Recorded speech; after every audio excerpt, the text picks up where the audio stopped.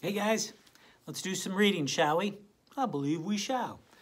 Before we get started, I want to let you know that today you're going to be doing some writing with me. You're going to be writing some short E, eh words and some long E, E words.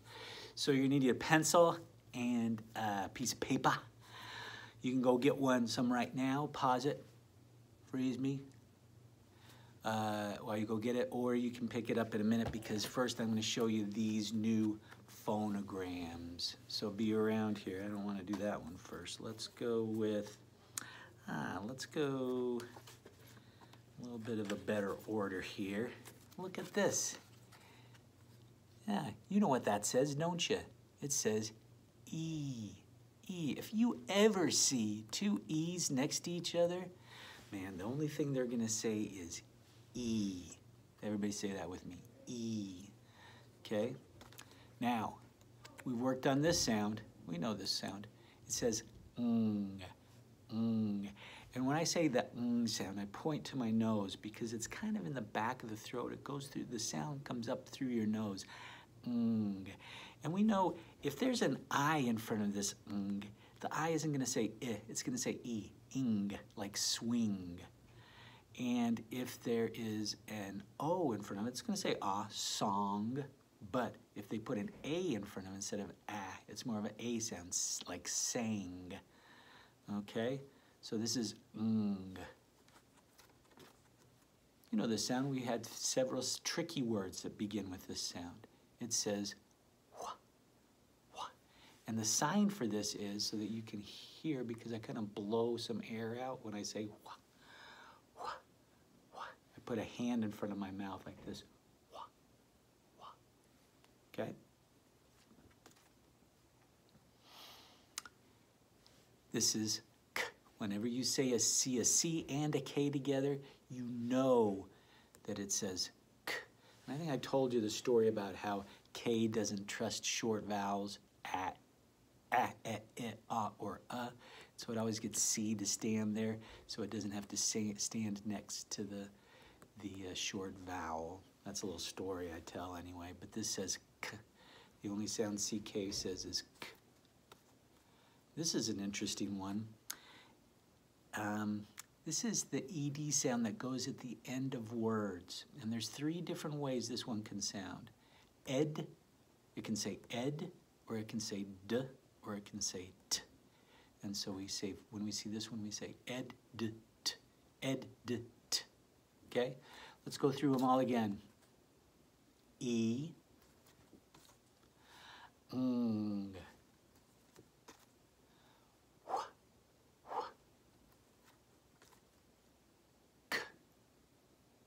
and ed, d, t. Those are new phonograms. We'll pull out all of them together, okay? Now, let's take a look at these three cards. This is the tricky word we learned yesterday. It says he. Not very tricky in my opinion. Pretty easy. He. This one says she. She.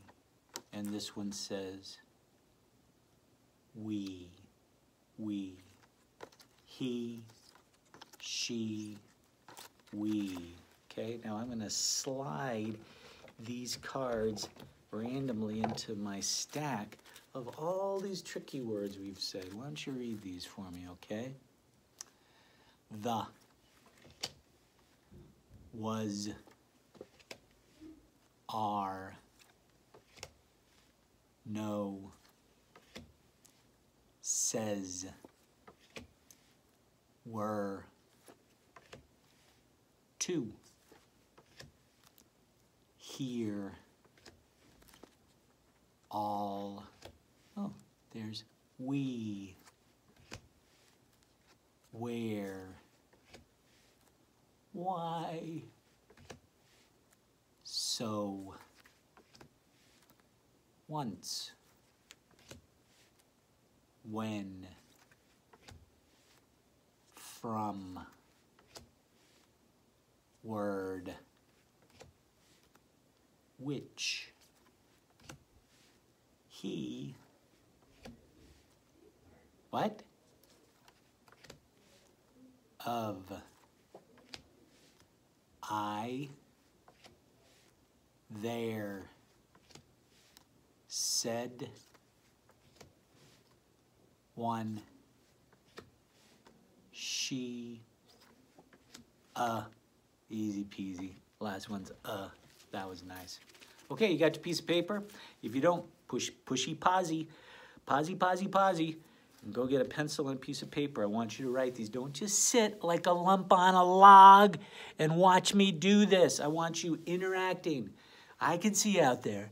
I can see you just sitting there. Go get a pencil. Come on. All right. You got a pencil? You got a piece of paper? Here we go. The first word I want you to write is seed. Seed. Think of the sounds. S, s, e, d. Seed. Okay?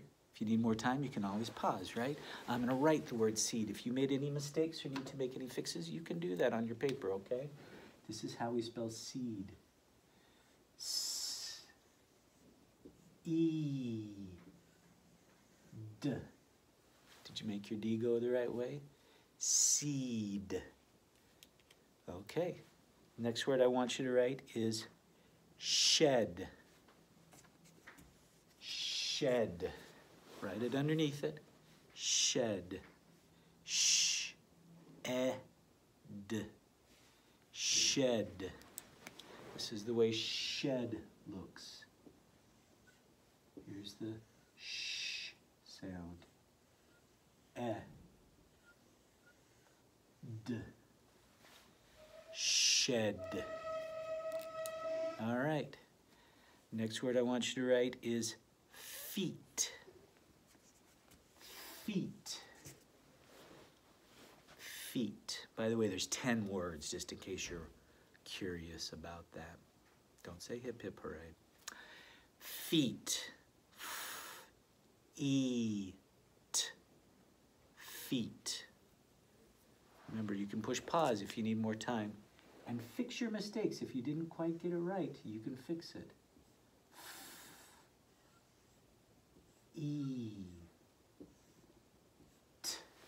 There's feet. Okay? Next word I want you to write is then. Then. Then. Th. Then. Let's see what then looks like. Th, right? Eh. Got an S sound. Mm, then. Okay, the next word I want you to write, number five, is cheek. Cheek. Cheek. Like this part of your body. Cheek. Ch. E. K. Cheek. Do you remember the ch sound? Here's the ch sound. Ch. And then we got E, so we got to get two E's in there, right? Now, some of you might have written, written a CK just like the phonogram card we just learned, right? But no, we don't need a C and a K because K doesn't mind long vowels. E, it would, if it was check, it would be with a CK. But in this one, it's just a K. Usually don't have C at the end of words. There's not uh, many English words that have K, I mean C at the end of them. But there, we usually throw a K at the end. There's cheek. Okay, number six, shelf. This has four sounds in it. Shelf. It's gonna have five letters. Shelf. Sh, eh, ol, f, shelf. Here we go. Here's the sh. And we got eh. Ol. Did you hear the ol sound in there? And then at the end, shelf. Shelf. Okay, next word I want you to write is queen. Queen. Back to three sounds. But there's going to be five letters still. Qu E, mm, queen. All right, let's take a look at this. You can make your Q with a little tail at the end of it, right? This is the qu sound. We always write Q-U. E, mm, queen, queen. All right, your next word is meet, meet. One day we will meet again, right? Mm, eat. Three sounds, four letters. Meet. Mm. E. Meet. Now, if you're talking about meat that we like to eat, it's spelled a different way with an E and an A. Okay, next word I want you to do is met. Oh, that's gonna be easy, right? Met. Met. We just did these sounds. Mm. Eh. T. Met. Mm, eh.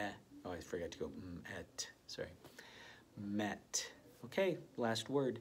Sheep. Like Lee the sheep. Sheep. Sh. E. P. Just three sounds. It's going to be five letters. Sheep. Sh. E. P. Sheep. All right, how'd you do? Make sure you fix all your mistakes, okay, so that all your words are written the way they're supposed to be spelled, okay? You got one worksheet for to do with me today. Remember we read red ants yesterday? This is the comprehension sheet about red ants. It's got three questions where you just have to fill in the little blank about red ants. If you can't remember that story, go back to um, day 149 reading and I read the story with you guys then, Red Ants, or you can find the PDF and read that. There's more on the back, yay! We got a uh, there's, you got to um, write uh, an answer to this question, and then here's a place for you to draw a picture of those red ants, maybe munching on uh, Lee the sheep's feet, ouch. And then write a sentence that goes here. Now, when you write your phrase here, I don't care about capitals and punctuation marks, but down here, make sure that your sentence begins with a capital letter and ends with a stop sign. Okay, that's it for reading today. We're all done. I'll see you for math later on. Bye-bye.